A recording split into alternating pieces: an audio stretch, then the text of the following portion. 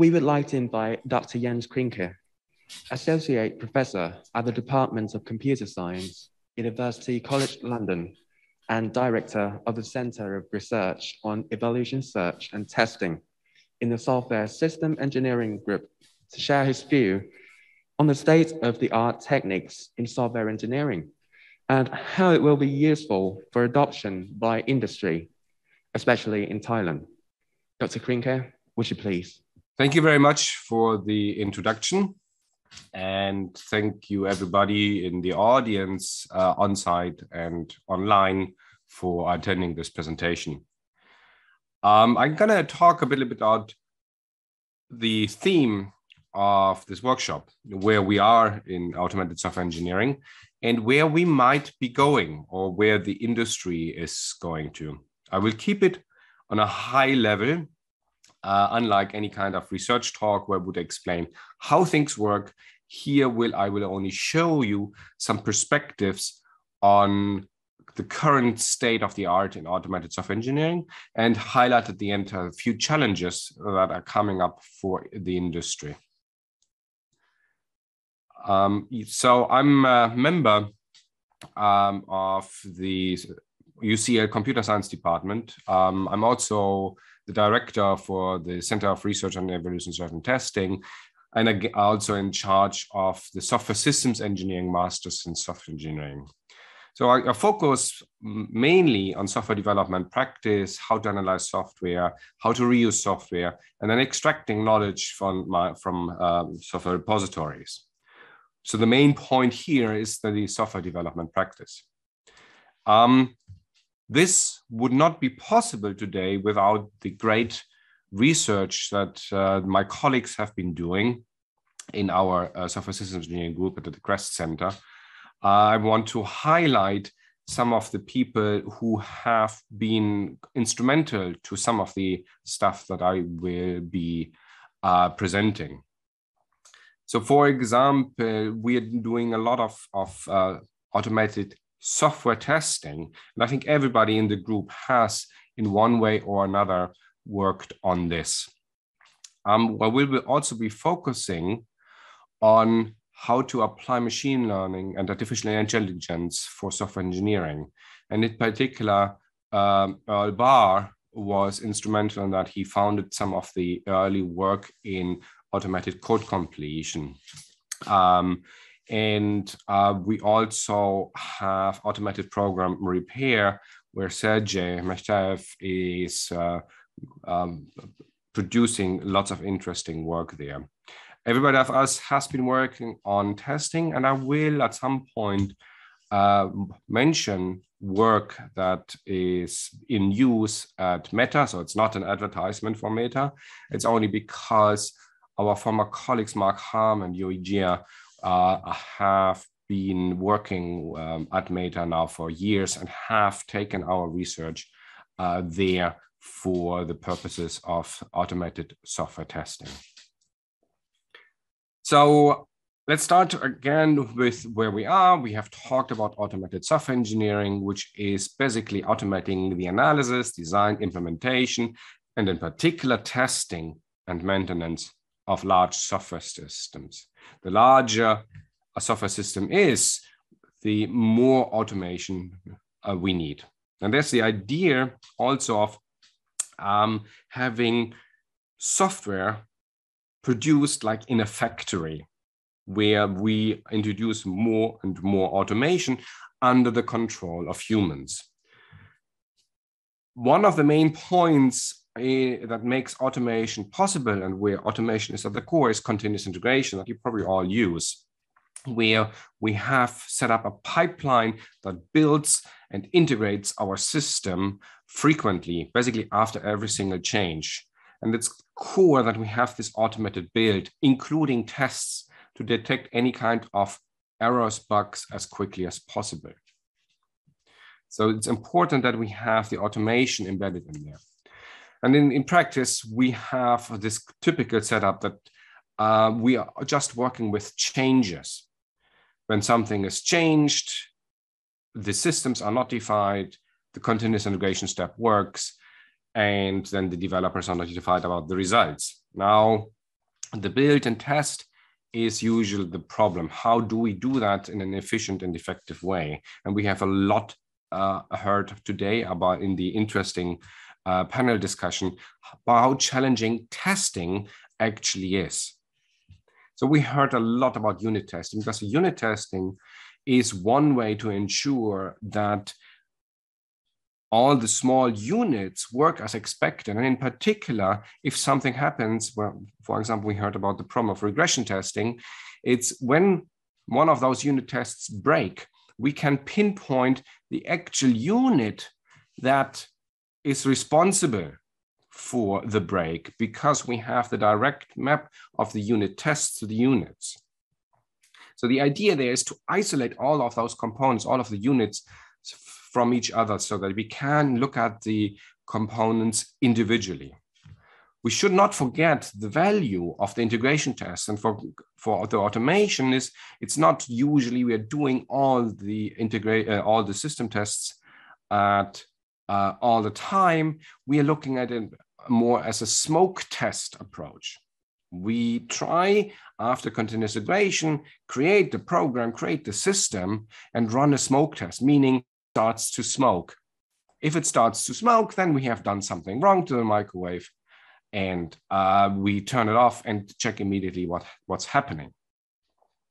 Now, the, the, concept of a smoke test is important on this, this level because what we see as a smoke coming out of a system is, for example, a crash after we started it or any kind of exception. So we can observe the smoke coming out of our uh, software system whenever something goes wrong without the actual need to write a dedicated test that checks the expected outcome with the actual outcome. And we have heard a lot about how the changes are integrated and in the continuous integration, we are checking them usually by building and testing and also then via humans or, for example, SonarQube to check that we are not introducing new problems. The goal there is that we never break the build. We never make the tests fail. So all these changes must be reviewed before they're integrated into the main branch. So only those reviewed changes are usually uh, integrated. So this is what we see as the typical modern code review cycle, um, although it's actually more about not just modern code reviews, but the, the modern way of developing software. We have an author that authors a change and submits it for the validation into the continuous integration. And it's not just validated by the tests or by the build and the continuous integration, but also by reviewers who are approving those changes. And in particular, when we look at, at the typically encountered problem that there's not enough testing or there's little testing, we still can have the human reviewer check for problems in the source code um, without actually running the software. So the problem there is that the humans are actually not very good at this job when humans are looking at um, changes, they are not very good at finding those bugs and flaws. They're not very good at spotting uh, the code smells. Now, automated systems are much better at finding those kinds of bugs and flaws. And therefore, uh, we, we, and we heard that today in a panel discussion, how, for example, SonarQube is used to check for flaws and problems in the software. And if we employ these kind of services and systems, instead of humans, they can focus on, so the humans can focus on what's really important, keeping the code in a good quality as in how a human would perceive it the humans are no longer required to run the software, test the software. We want to automate as much as possible. And therefore, we have lots of these kind of review bots. So if you use the GitHub infrastructure where you are um, using the uh, continuous integration services like the GitHub Actions on GitHub, you can push all your changes, all your pull requests through a lot of review bots. They are plentiful there and they cover a wide range of checks and languages. Now, the problem there is to figure out which ones are useful. So if we uh, look at the um, snapshot that I did some time ago, we had 785 different bots or, or, apps to check which ones are useful. Because the problem is a lot of these things do something, but they're not very useful.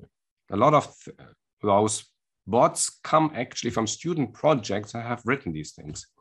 And it's quite a challenge to figure out what are the really helpful ones because we don't have much of a guidance. What we can rely on usually is uh, the more often something is used, and maybe even the more expensive something is used, the, maybe the, the more useful it is. So we heard about the Sonar uh, Cube approach that um, our four companies have used. They've used the free version, and Sonar also is offering the service as a, as a service again, where it runs on their infrastructure and can then apply these automatically on all pull requests. So that's basically what we heard where we are. And that is the state of the art, uh, I would say, in general software development. We are reviewing changes and we try to test as much as possible with the support of a lot of the service and infrastructure we have available. Now, going to talk uh, about where, well, practice and research is going and what you can expect in the future. And I will give one example that will impact um, every software development company, in particular SMEs, um, quite dramatically, in my opinion, which is GitHub Copilot, uh, which I will um, at the end say. So this is not an advertisement for GitHub Copilot, but I think it highlights how software development will change. So we talked very much about the problem of testing.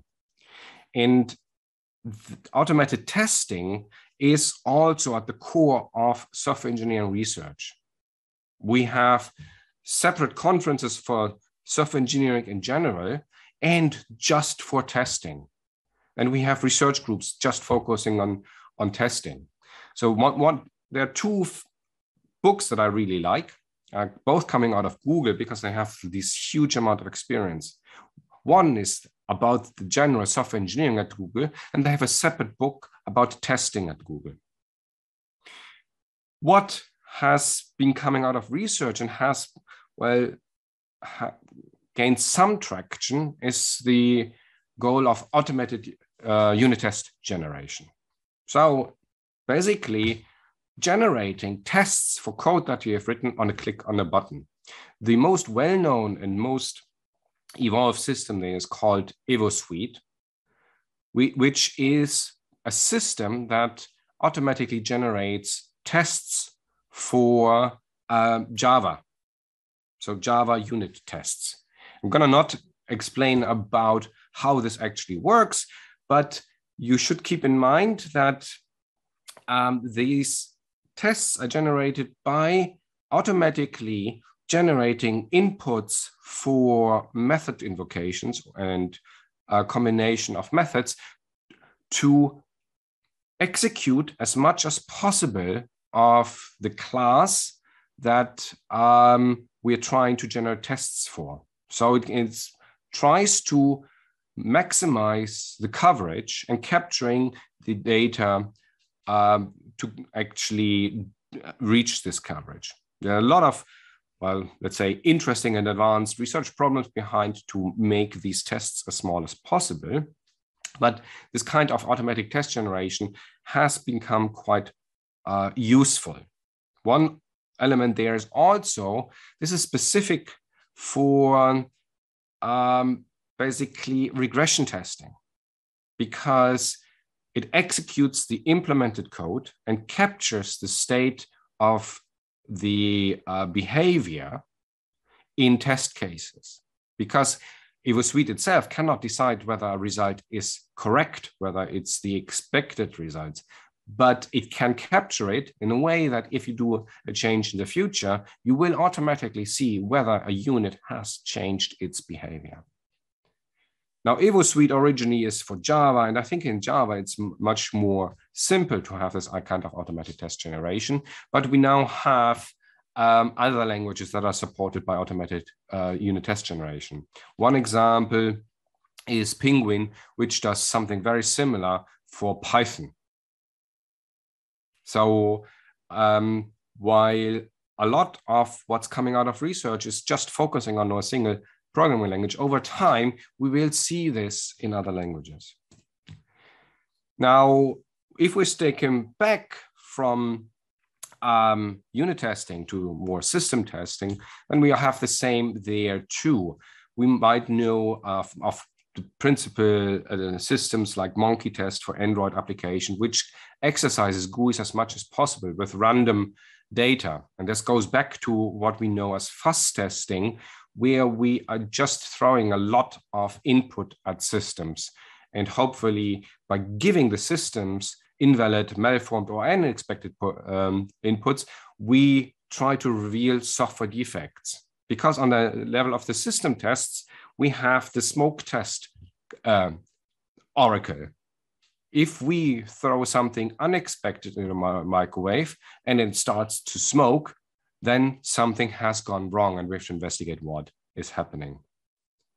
Now you can say, oh, this is a, it's a problem. Can it scale the automated uh, system test generation? Now, one example that it's very much able to scale and it is extremely useful in practice is what was the Sapienz project um, at Meta, uh, which came out of uh, the research uh, in our group and which Mark Harman and Yue Jia took to Facebook, now uh, Meta at that time.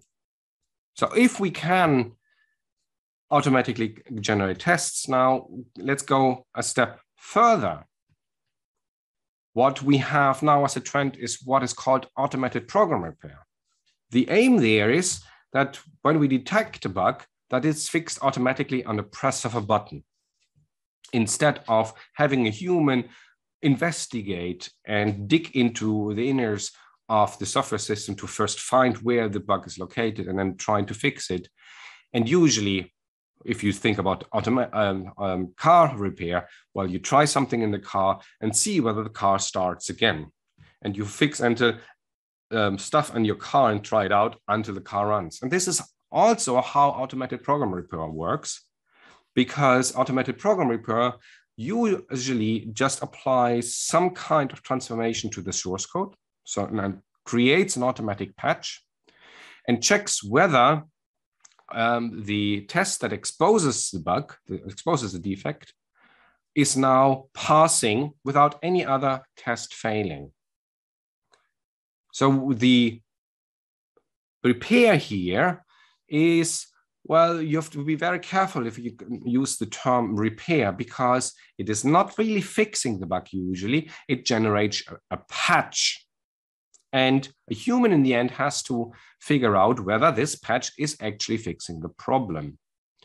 Now, for problems in the security realm, like the Heartbleed bug, this generated patch can be deployed quite quickly as soon as a vulnerability occurs. And a proper fix later can be go through all the quality assurance and investigation by humans. Again, this only works if you have good testing to ensure that the patch that is automatically generated is not breaking anything else. Because as software developers, we often know if we fix a bug, we have unexpected and undesired side effects that something else breaks. And what we can do if we have this automated repair and the automated test, why don't we throw it together? We generate automated tests. If we observe some smoke by the automated test, we just um, invoke um, automated uh, the automated repair for that. And that is also what again Meta has been doing. They have the automated test generation, Sapienz. And as soon as Sapienz triggers a bug, they have been running automated repair where they generated patches. And those patches are much more simpler than uh, the, um, the um, research these days is doing, because most of the bugs that a company like Meta or large scale companies are encountering, they have encountered before and fixed before. So, uh, for example, um, there was a huge study at Ubisoft where they filed every single bug and the fix for it in a huge database. And they were using this database as soon as they would identify a new problem. They had this automated system that would pinpoint to the fix that they have used before so that they can reuse those fix and in the future prevent that a change will cause a problem that they have seen before. Now, we have talked about automated test generation and automated repair, where little pieces of code are generated. So this is basically under the umbrella of automated code generation.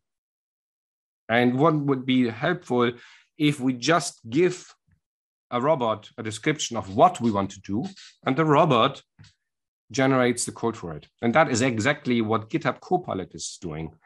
Um, I mean, I can at least see the audience, uh, uh, the physical audience. Um, I don't know whether uh, you all have heard about GitHub Copilot, but um, as of yesterday, uh, GitHub Copilot is available to everybody. So while I was preparing this presentation, suddenly um, GitHub was announcing that Copilot is now available for and everybody. It's now becoming paid service. So I, as a person who has participated in the beta test, now have 60 days where I can still use it. And then I have to pay for it too. But GitHub Copilot works basically by taking all the public code on GitHub and learning from that code. And not just from the code itself, but also from the comments around it and all the, the, the um, documentation. And surprisingly, it's extremely powerful. Until I used Copilot myself, I was extremely skeptical about whether machine learning for software engineering can really be that helpful. And actually, it is. So imagine I just uh, write something that I just want to download a web page and ask GitHub Copilot to uh, generate the code for me. Okay, I've written that documentation and GitHub Copilot generates the whole code for me. One element there is we will look at the code and actually it does not do what I actually wanted, but it gives me a good framework because what it has actually generated, it has not generated the code to really download the web page, but what it does, it downloads the web page and counts the number of bytes that has been received. And I would not be happy about how um, the exceptioners are handled that uh, only um, the code is throwing out the stack trace and then ignores the exception. That's completely wrong how to handle this kind of situation. But still, it's extremely impressive what GitHub Copilot can actually do. Um, and it will be extremely helpful in repetitive tasks to generate the code that we know how to write, um, but that takes us longer to write. What people often have not yet seen is what GitHub Copilot can also do, which will help us in the software development in the future. Namely, they have two functions, explain and translate. In explain, you can let Copilot explain to you what a piece of code does. What's listed here is the explanation given by Copilot on the code we just have seen. and is given a description what it actually does. Now, the description identifies what the code actually does in the end, that it counts the number of bytes read and returns them. The other one is translate. Now, if I say to GitHub Copilot, this is Java code, now translate this to JavaScript, more or less the same as before. Now, again, we have to be very careful in human as a human to to review what is happening. Because if I do the same for Python, I get this response, much shorter code as usual for Python. But looking at it, I'd see that something is not quite right. This is not the same code. What it actually just does is opens the URL and gets the, the code for the uh, um, access to that page. It does not do the same.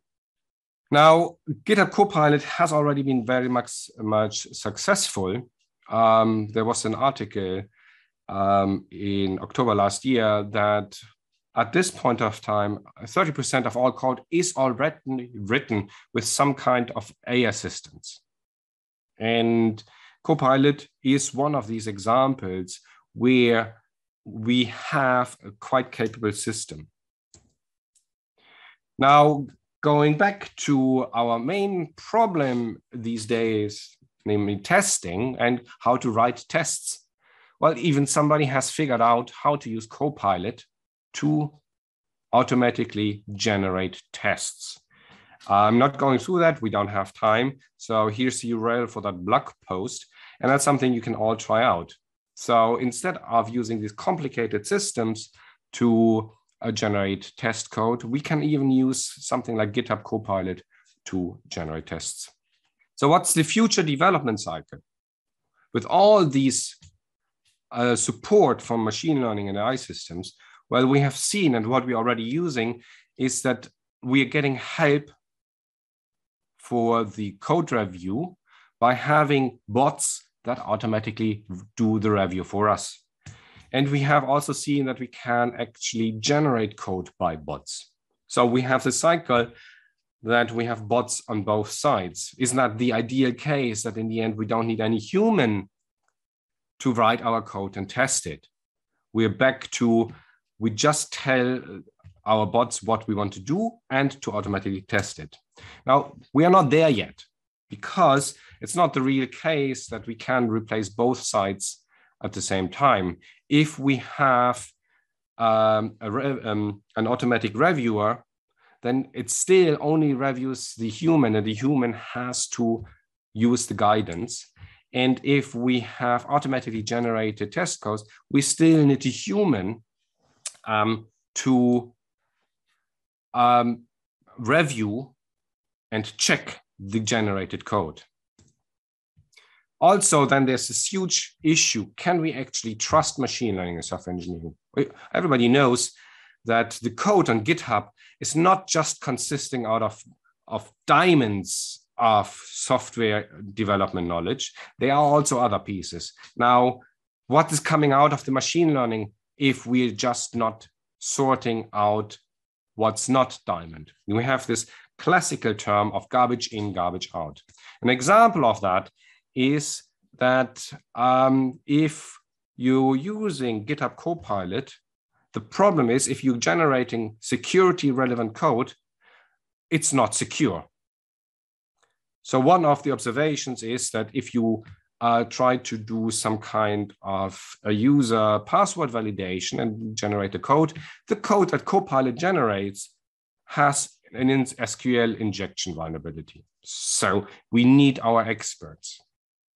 And I'm going to finish with the challenges to the software industry uh, software industry with these advanced software engineering uh, technology. Now, the question there is who actually has the resources to adopt and advance those cutting edge technologies?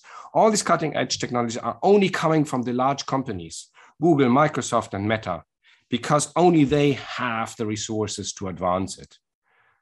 Small companies cannot advance these cutting edge technologies. We are left with using them then we have all the services. Now, how can we, we afford adopting the services? We have the cost of the service, and we have the cost of the training integration. And you have experienced that as companies when adopting uh, SonarQube. It's the time you need to adopt it and to change it.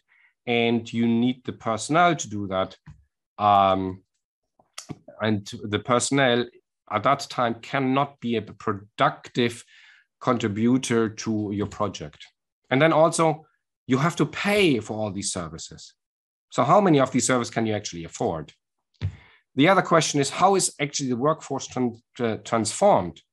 So if we have the simple jobs replaced by um, by bots, in the end, do we only need specialists? Is that the end of the interns in companies that help us with simple tasks? And then the question is, who trains those specialists? So, and then in the end, well, are we replacing more and more software developers by more and more robots? What is the impact on actual teams? So that was basically it, what I wanted to give you as a high level overview where we are heading and what the challenges are. So we talked about automated software engineering as the principle of using like a software factory. We talked about the importance of testing and in particular also system testing and, um, and smoke testing. We talked about the cycle in which we are usually now uh, developing software. And then I focused on the generation of code in the second part, where the research is going, automatic test generation, and particular systems like GitHub Copilot that will impact our software development, not just individually, but also in terms. And then as a takeaway message, if you use any kind of those artificial intelligence systems, we have always the problem that not everything that comes out of these systems is trustworthy. Thanks a lot. And I don't know whether we have time for uh, questions because I'm keeping you, I think, from lunch. Okay, thanks a lot, Jens, for the um, insightful talk. Now we have a few minutes for Q&A, let's say possibly one or two questions. Um, okay, anybody on the floor has any questions? Okay. Okay, thank you. Dear Jens, uh, after I saw your diagram and and see your slide, I think if, if we have a patch writer that work automatically by machine learning, and, and in your diagram, and by this idea, can, can it help the company to do the refactoring? Because after we develop the source code, and we used to like the SonarQube to detect the smell, and then we use the help for machine learning to do the patch because we, yeah. we know the pattern. I, I, I want to know the idea if this helped. Thank you. Thanks for the question. That's a great question because that is something that uh, research is currently working on, and not just research, is um, when we spot something that is to be fixed, instead of a human, can we automatically change it? So if we look at um, checkers like um, PyLint for Python or ESLint for JavaScript. A lot of the, the problems can be automatically fixed. And why does a human have to do that? Um, we have done the kind of studies, and for for a lot of these problems um, in in uh, Python, we have, for example, Black that automatically fix it. But it's better how it is done in ESLint in JavaScript because uh, ESLint has this category of fixable problems and it can automatically fix it. Now, these are the ones where fixes are quite straightforward and uh, where we are in a situation where we can actually use them. Now, there are a lot of other things where only a human at this point, at this point of time can do it. And the question is, well, with machine learning, cannot that be changed? And it's not ready, ready for, for prime time but research is working on that and they're making progress. Um, one thing, again, that I know from, from Meta is that they have those systems already. They learn from previous code reviews what has been changed, how it has been improved to suggest future improvements, which then can be uh, accepted by a human. However, again, this only works for a large scale company like Meta because they have their own code base that is huge where they can learn from. And they know of the quality in their system. I don't know whether I would like um, automatically generated improvements from something like Stack Overflow, where we know the quality of that code there is actually not very good. So there are challenges we are currently tackling, but I don't think that we are there yet, that it actually can be used in industry. A few more years. Okay, thank you. I, I actually have uh, one additional question regarding the automate uh, agent to help fix the code, right? So yeah. I'm, I'm looking for, right now, I'm hoping that, well, if I understand it correctly, you're trying to optimize the process so that uh, the robot can fix the code, right? But yeah. Uh, can we think about a way to actually help improve the code themselves to code better? I think the, the, the objective a little bit different, right?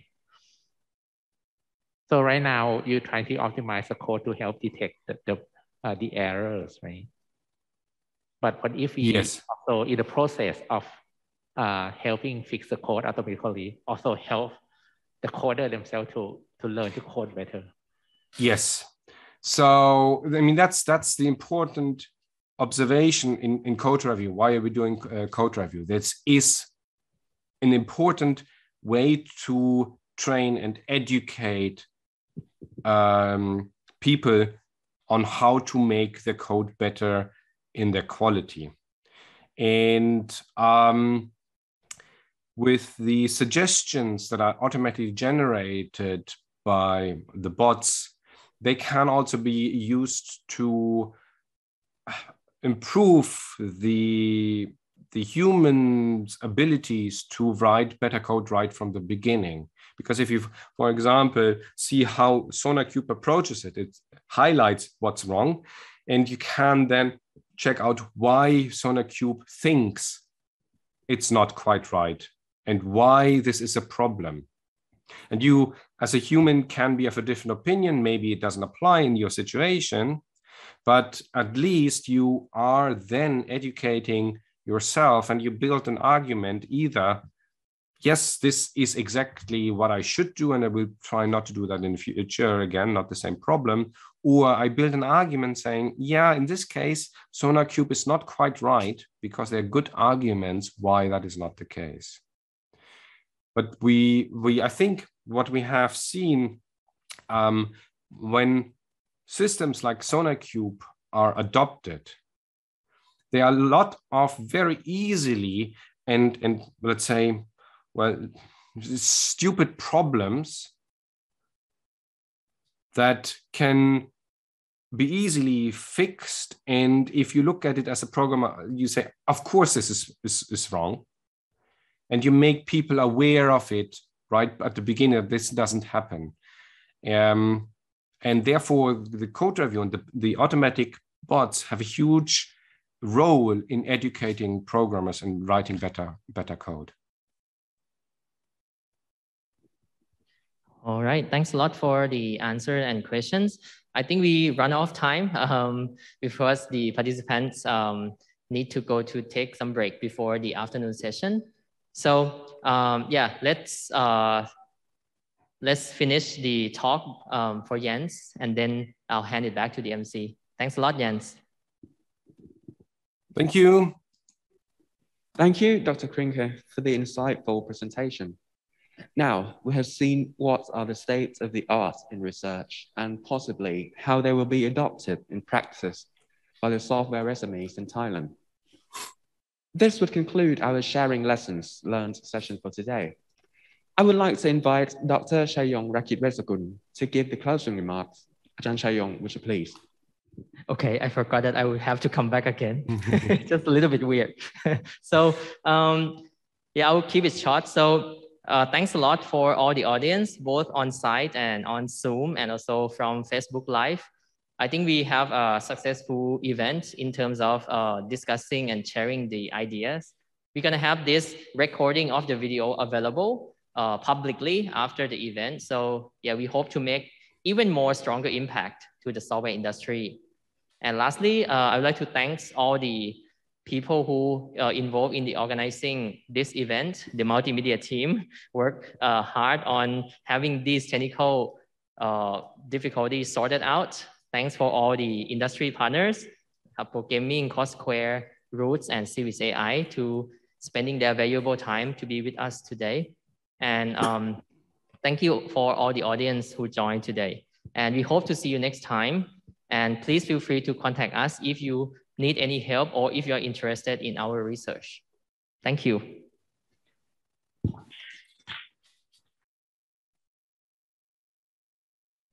Okay, smile with mask on. Thanks a lot, everybody. Uh, hope you have a great day. Thank you.